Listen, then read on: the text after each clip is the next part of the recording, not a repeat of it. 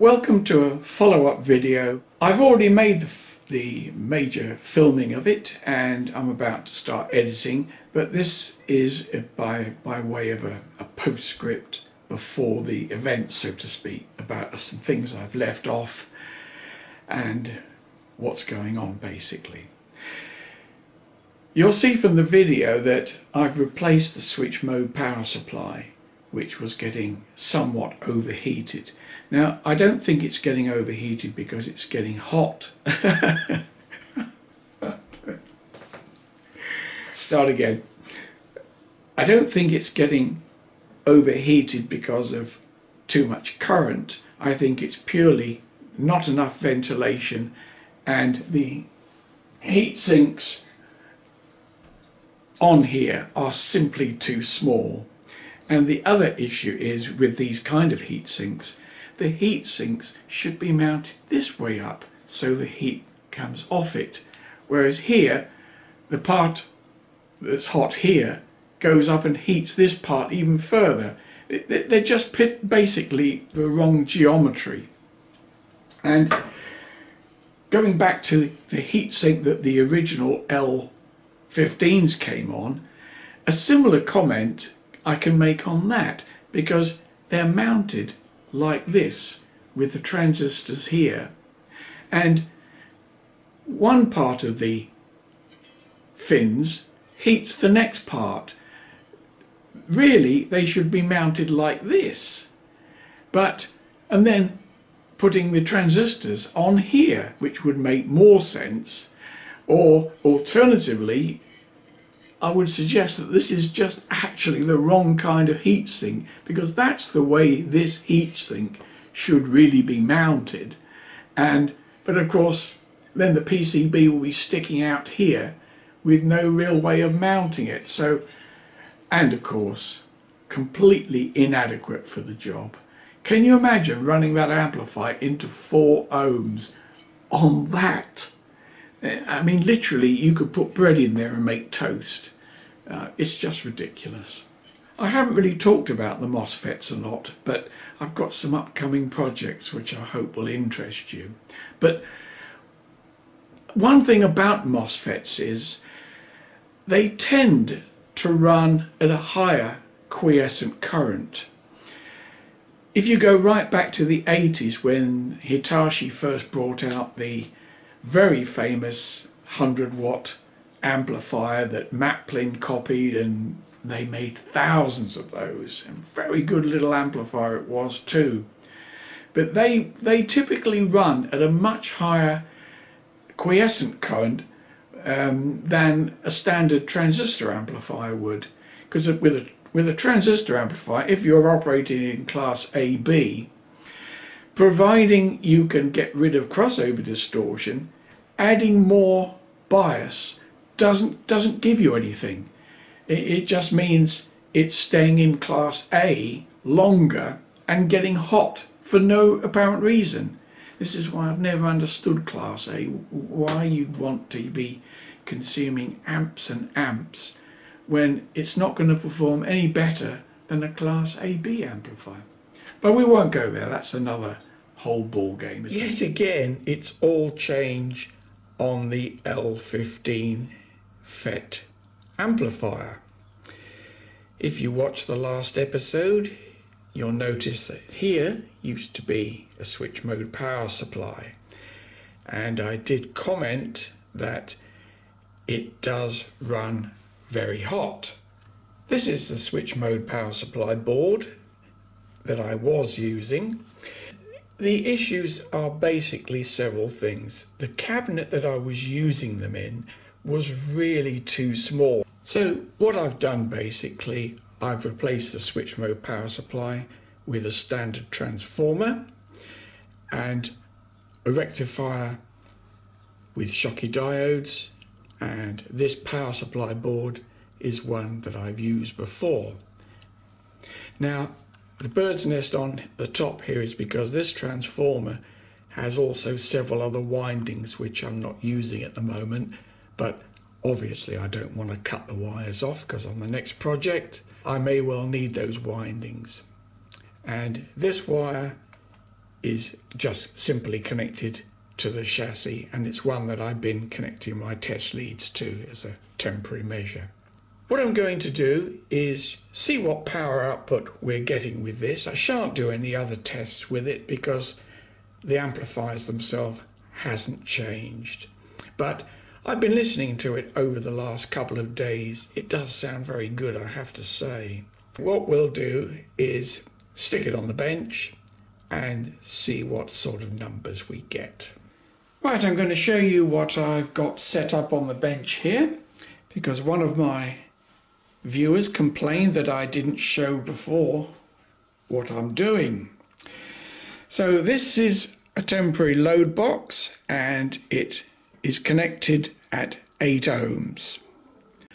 I have the signal generator set up to generate 1 kilohertz sine wave and that's feeding in to the left channel via this couple of croc clips. I should be using the AC millivoltmeter to display voltage output and that's connected literally across the load. I should be using the oscilloscope which is connected to the load via this times 10 lead simply to lower the voltage because the scope doesn't like more than 30 volts going into it. We'll only be using the scope to observe the waveform for clipping. I shan't be doing any measurements from it. I should be using the AC millivoltmeter to actually measure voltage purely because it's easier for you to see rather than try and see the small numbers on the bottom of the scope. Right, before we start, we'll just have a look at see what the HT is. I'm just putting my test meter across the output. And we have well in this case minus 51 on one channel plus 51 good. We got plenty of volts. Now I'm anticipating the power of this is going to be somewhat lower than the power using the switch mode power supply not for any other reason. Well, the, the two reasons is that was coming out at 60 volts and this is coming out at 50. So clearly there's going to be a reduction in power. And the other reduction will be the switch mode power supply, the voltage didn't sag when you start drawing current from it, whereas this, which is an unstabilized supply, the voltage will sag. So let's have a look and see what sort of power we get. Now don't forget, we're purely using the oscilloscope for visual clipping. So I'm going to turn the gain up of the amplifier and we'll, you should start to actually hear it from the load box singing. I can certainly hear it. Right, there's clipping.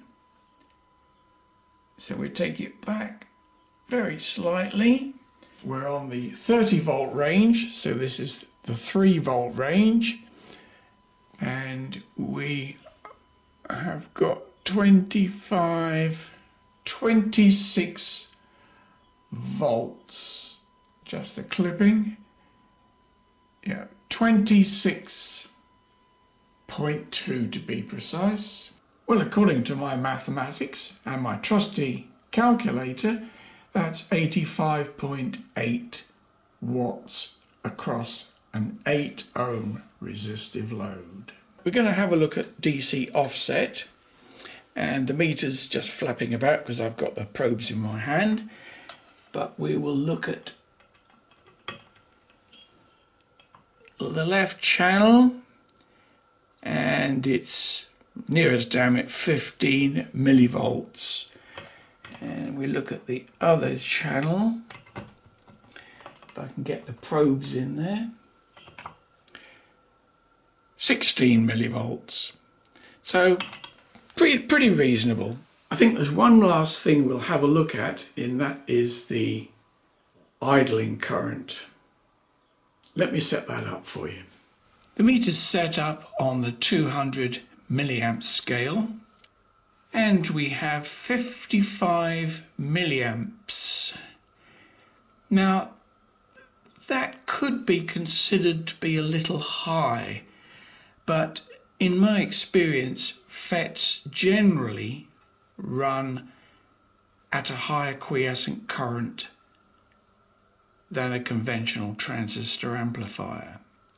And there is a preset pot in there, in fact it's coming out nearer 60 milliamps now. And the pot is in fact sealed. So I'm going to look at the other channel now and see what that's doing. Now this is the other channel and it's clearly a little on the lower side so I think I'm going to have to do some experiments and see whether it affects crossover.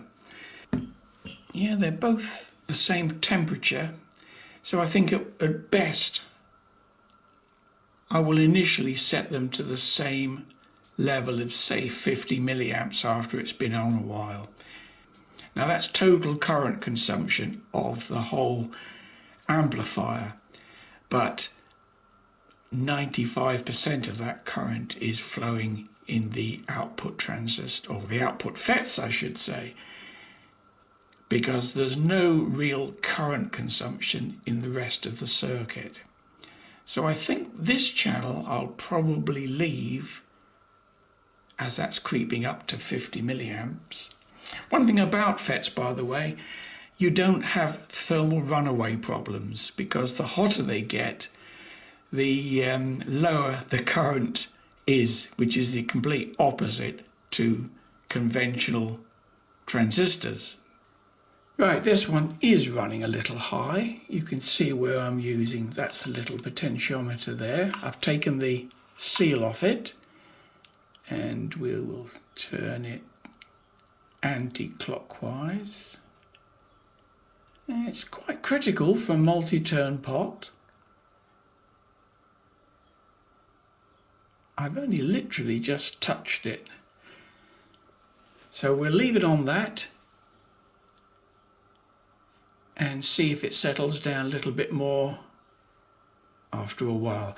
That's with no input by the way, no load, it's just quiescent conditions.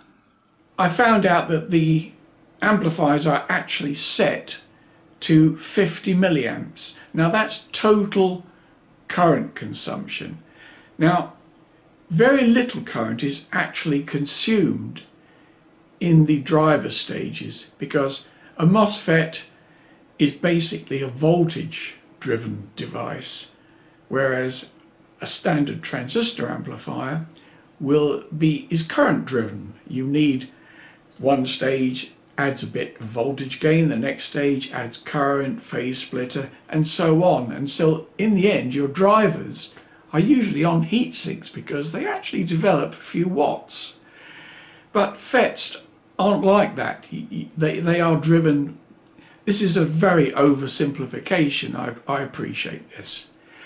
But a, trend, a, a FET is basically driven with voltage and there's virtually no current consumed from the driver stages. So when you look at the board, there's no heat sinks on any of the transistors other than the output FETs. But, oh, I need to show you one more thing, just a minute. This is a new power supply board that I've just received and it's going to be used in a future video. But it's basically transformer in plus and minus DC out. And it's about double the size of the board I'm using, but it won't fit into the current project. Here, the rectifiers, which I believe, I cannot remember whether they're um, or standard diodes, but at least they're on a degree of heat sinking which the other ones weren't. And the capacitors are huge, um, 12,000 microfarads. But there's a downside to everything. And the problem is they're only 63 volts working. So lots of capacity, But when you're running on an HT of 61 volts, I think 63 is a little, well, pushing it a bit, isn't it? So I'm not sure where to go from there.